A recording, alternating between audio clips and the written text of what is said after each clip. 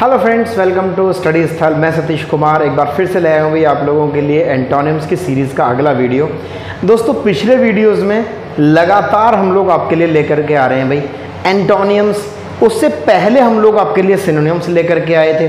भाई, भले ही वेटेज पाँच नंबर का हो, लेकिन मैं बार बार आपसे कहता हूँ ऑलमोस्ट हर एक वीडियो में मैं आपसे कहता हूँ, भाई, हम लोग किसी भी चीज़ को आसानी से नहीं छोड़ सकते।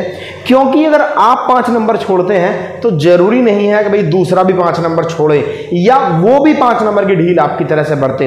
इसलिए हम नहीं चाहते कि किसी भी प्रकार से, किसी भी तरीके से कोई ढील बरती जाए और आपके इन पाँच नंबरों की तरफ़ फोकस ना दिया जाए। हर एक वीडियो यानी कि स्टडी स्थल चैनल पर हर एक वीडियो जो आता है, वो आपके लिए ज्ञानवर्धन का काम कर रहा है। भाई आई मीन ज्ञानवर्धक का काम कर रहा है। तो दोस्तों, इसलिए ज़रूरी है कि हम लोग सारे सब्जेक्ट के ऊपर बराबर फोकस मारें और सारे सब्जेक्ट को बेहतर तरीके से पकड़ करके चलें, जैसे हमने बाकी सब्जेक्ट को पकड़ के रखा है। इसलिए एक एक वर्ड एक एक नंबर कीमती है, इसलिए लगातार हमारे साथ यूँ ही देखते रहिएगा। भाई, हम आप ही के लिए तो सारी की सारी चीज़ें लेकर के आते हैं। भाई, किसी भी प्रकार से कोई समस्या है, किसी भी प्रकार का कोई सुझाव है, कोई क्वेश्चन है तो कमेंट बॉक्स तो आपके पास है। कमेंट में डालिएगा, क्या चीज़ आपको चाहिए, क्या चीज़ आपको नहीं मिल पा रही है, कौन सी चीज़ आपको अच्छी लग रही है, कौन सी चीज़ आपको अच्छी नहीं लग रही है। दोस्तों सारी चीज़ें आप लोग डाल सकते हैं। इसी चैनल के डिस्क्रिप्शन में जो आपको लिंक दिए हुए हैं, उनमें जाकर के हमारी बाकी वीडियोस को भी आप लोग देख सकते हैं। फ़िलहाल मैं आता हूँ आपके आज के वीडियो के कंटेंट की तरफ़ दोस्तों, सबसे ऊपर लिखा हुआ है, give antonym for the followings. भाई, जो नीचे लिखे हुए हैं ना, दोस्तों, उनके लिए ना आपको एंटोनियम्स देने यानी उनके एंटी वर्ड्स आपको देने हैं। तो सबसे पहले जो हमारे पास वर्ड लिखा हुआ है, दोस्तों, वो है नेटिव भाई नेटिव का मतलब तो होता है मूल या मूल निवासी। मूल निवासी। मूल या मूल निवासी। दोस्तों, जो दूसरा है दूसरा वर्ड हमारा लिखा गया है भाई रेजिडेंट रेजिडेंट मतलब होता है दोस्तों, निवासी. और उसके बाद में हमारे पास में एक वर्ड है वर्ड है भाई फ्री फ्री का मतलब होता है दोस्तों, मुक्त या निशुल्क, या फिर फ्री आपको इसको नॉट ट्रांसलेटेबल भी है. आप फ्री को फ्री भी बोल सकते हैं. और आप अगर चाहें तो इसको आप आज़ाद भी बोल सकते हैं। देखिए, मैं कई कई सारे वर्ड्स आपको बताता हूँ ताकि आप लोग सही तरीके से चीज़ों को कनेक्ट कर पाएँ, ताकि आप लोग सही तरीके से चीज़ों को जोड़ पाएँ। और अगर आप नहीं जोड़ पा रहे हैं, इसका मतलब है भाई, कहीं ना कहीं तार्किक शक्ति की भी कमी हो सकती है। मैं तो मेरा भरपूर प्रयास कर रहा हूँ भाई। अगर फिर भी आपको लगता है कोई चीज़ आपको चाहिए, फिर भी अगर आपको लगता है कोई वर्ड आपको अगर अलग से चाहिए तो भैया मुझे बताइएगा, मैं वहीं तक आपको पहुँचा दूँगा, उसी वर्ड के पास तक। नेक्स्ट वर्ड है भाई हमारे पास में एलियन एलियन मतलब होता है दोस्तों, परदेशी या फिर विदेशी। तो देखिए एक तो होता है भाई मूल निवासी और दूसरा होता है हमारे पास में परदेशी या फिर विदेशी। इसलिए हम लोगों को ऑलमोस्ट जो नेटिव वर्ड का जो एंटोनियम है भाई, वो मिल ही चुका है, जिसको हम लोग बोलते हैं दोस्तों एलियन अब एलियन है साफ़ साफ़ हमें दिखाई दे रहा है, भाई एंटोनियम है। फिर भी मैं आपको आगे लेकर के चलूँगा, भाई वर्ड तो मैं आपको सारे के सारे क्लियर करूँगा। मेरा एक फंडा है, पाँच गुणा पाँच पच्चीस होते हैं। मतलब है पाँच क्वेश्चंस कराऊँगा। उनके चार चार विकल्प दूँगा। एक क्वेश्चन में आपको मिलते हैं पाँच वर्ड और पाँच ही मैं आपको क्वेश्चन देता हूँ। तो भैया टोटल जो वर्ड्स हो जाते हैं वो पच्चीस हो जाते हैं। आप बेहतर तरीके से ना अपने तरीके से आप सेट कर लीजिएगा, अपने तरीके से आप चीज़ों को बिठा लीजिएगा। मैं तो बस ये चाहता हूँ भाई आप बेहतर तरीके से चीज़ों को पढ़ते रहें और सही तरीके से आप लोग अपने एग्ज़ाम में परफॉर्म करके आई हैं मैं नहीं कह रहा हूँ कि ये मैं कर रहा हूँ, हमारी पूरी टीम इसके लिए आपके लिए समर्पित समर्पित है भाई। पूरा का पूरा चैनल इस चीज़ के लिए लिए समर्पित है कि आप कामयाब हो, आप कामयाब हो और बस आप कामयाब हो। चलिए दोस्तों वर्ड आता है भी हेवनली हेवनली का मतलब होता है दोस्तों, दैव्य। दैव्य। देखिए वर्ड तो ऑलमोस्ट हमें पहले ही मिल चुका था। नेटिव एक होता है मूल निवासी और एलियन एक होता है परदेशी या विदेशी। यानी कि इसका एंटोनियम दोस्तों ऑप्शन नंबर तीन है। यानी कि फ़र्स्ट क्वेश्चन का जो ऑप्शन है, वो तीसरा ऑप्शन है। चलिए दोस्तों, चलते हैं क्वेश्चन नंबर दो की तरफ़। और क्वेश्चन नंबर दो कहता है भाई ऑप्शनल। आपने ऑप्शन नाम का वर्ड सुना होगा। ऑप्शन का मतलब होता है विकल्प। और ऑप्शनल का मतलब होता है वैकल्पिक। वैकल्पिक। वैकल्पिक या चयनित। चयनित जिसको हम लोग बोलते हैं, भैया वैकल्पिक बोलिए, चयनित बोलिए। कंपलसरी का मतलब होता है भी ज़रूरी या निश्चित भी बोल सकते हैं हम इसको। निश्चित या फिर ज़रूरी जिसको हम लोग बोल सकते हैं, या हम लोग इसको अनिवार्य भी बोल सकते हैं। अनिवार्य। भाई, आज ना ये वाला काम करना कंपलसरी है। यानी कि ये वाला काम करना अनिवार्य है। यानी कि ये वाला काम करना ज़रूरी है। कई सारे वर्ड्स को तो आप जनरली भी हिंदी में सुनते होंगे, जब लोग कई बार उनको आपको हिंदी के शब्दों से जोड़ करके रिलेट करते हैं, यानी कि जोड़ करके आपको बताते हैं, यानी कि रिलेट करके आपको बताते हैं, वहाँ से भी कुछ थोड़ा थोड़ा थोड़ा थोड़ा हम लोगों को क्लिक होता है हमारे दिमाग में। नेक्स्ट लेकर के चलते हैं दोस्तों, ये है इलेक्टिव इलेक्टिव मतलब भी वही होता है भाई इलेक्टिव मतलब भी होता है वैकल्पिक। वैकल्पिक या जिसको हम लोग चयनित बोल सकते हैं। इसमें भी कोई परेशानी नहीं है भाई। चयन, चयनात्मक बोले हैं भाई आप। चयनित नहीं बोला, चयनात्मक चयनात्मक। और यहाँ भी दोस्तों चयनात्मक हो जाएगा। चयनात्मक। नेक्स्ट वर्ड है दोस्तों फैंसीफुल फैंसीफुल मतलब होता है भाई, काल्पनिक। काल्पनिक, जो ओरिजिनल नहीं है, काल्पनिक है। ओरिजिनल यानी कि सही, यानी कि अच्छा जिसको हम लोग बोल सकते हैं ओरिजिनल आप चाहें तो असली भी बोल सकते हैं, और आप चाहें तो इसको मूल प्रति भी बोल सकते हैं, मूल प्रति। अब देखिएगा, मैं आपको कई बार बता चुका हूँ इस बात को, कि आपको इन वीडियोस के माध्यम से केवल एंटोनियम्स सीखने को नहीं मिलेंगे।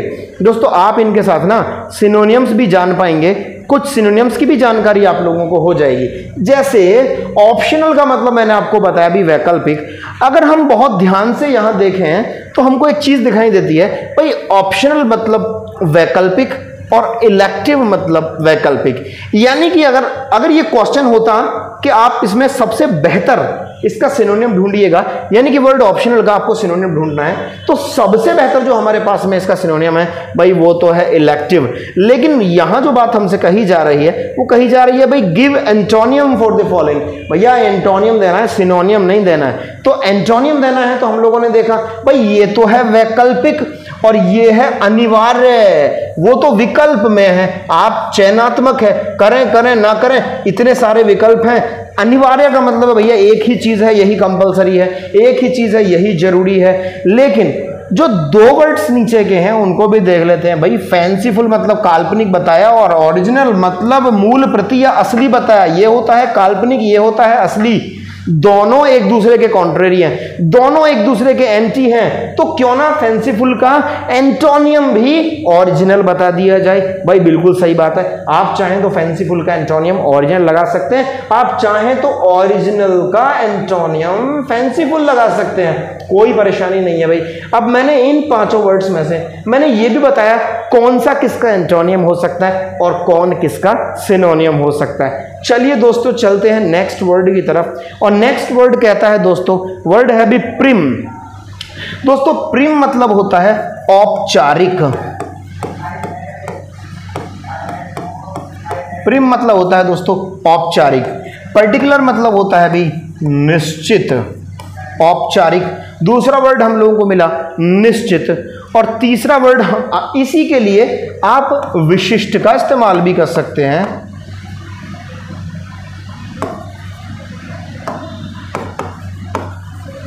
आप विशिष्ट का इस्तेमाल भी कर सकते हैं। आप चाहें तो खास वर्ड का भी इस्तेमाल कर सकते हैं। नेक्स्ट वर्ड है भी इनफॉर्मल इनफॉर्मल का मतलब होता है भी अनौपचारिक। अनौपचारिक। देखिए, औपचारिक और अनौपचारिक, यानी कि प्रीम का जो मतलब होता है, वो तो होता है औपचारिक और इनफॉर्मल का जो मतलब होता है, वो होता है अनौपचारिक। ऑलमोस्ट हमारे सामने है इंटोनियम, वर्ड प्रीम का, लेकिन फिर भी नीचे के वर्ड्स को देख लेते हैं भाई। नीचे का वर्ड कहता है स्ट्रेट स्ट्रेट मीन्स होता है सीधा या फिर सटीक। कोई मैच नहीं कर रहा है दोस्तों। और नाइस मतलब होता है भाई अच्छा बढ़िया जिसको हम लोग बोलते हैं। ठीक है भाई। तीसरे क्वेश्चन का, यानी कि प्रीम वर्ड का, जिसका मतलब होता है औपचारिक, उसका सही जो हमारे पास विकल्प है, जो सबसे बेहतर इंटोनियम हमारे पास है इसके लिए, वो होता है भाई इनफॉर्मल और इनफॉर्मल का मतलब होता है अनौपचारिक। चलिए दोस्तों देखते हैं नीचे। नीचे मतलब नीचे वाला वर्ड और क्वेश्चन नंबर चार पे आ जाते हैं भाई क्वेश्चन नंबर चार कहता है दोस्तों क्विसेंट क्विसेंट मतलब होता है दोस्तों, निष्क्रिय। निष्क्रिय। निष्क्रिय और उसके बाद में होता है इन डिफरेंट डिफरेंट मीन्स होता है अलग। और इनडिफरेंट का मतलब होगा जो अलग नहीं है, यानी कि साधारण। यानी कि साधारण, यानी कि हम लोग चाहें तो बोल सकते हैं सिंपल, यानी कि हम लोग चाहें तो बोल सकते हैं मामूली, जो अलग नहीं है। नेक्स्ट आता है दोस्तों एक्टिव एक्टिव मतलब होता है भाई क्रियाशील। एक्टिव मतलब होता है दोस्तों, क्रियाशील। आप चाहें तो इसको बोलें सक्रिय, तेज। आप चाहें तो इसको बोलें भाई सक्रिय। आप चाहें तो उसको बोलें तेज। आप चाहें तो इसको और भी बहुत सारे वर्ड से संबोधित कर सकते हैं। जैसे आप चुस्त भी बोल सकते हैं, आप इसको फुर्तीला भी बोल सकते हैं। आप इनमें से जो चाहें वो बोलें, यहाँ है निष्क्रिय, यहाँ है क्रियाशील, यहाँ है निष्क्रिय और यहाँ है सक्रिय। बड़ी सीधी सी बात है। एंटोनियम तो ऑलमोस्ट हम लोगों को मिल चुका है, लेकिन फिर भी देख लेते हैं दोस्तों।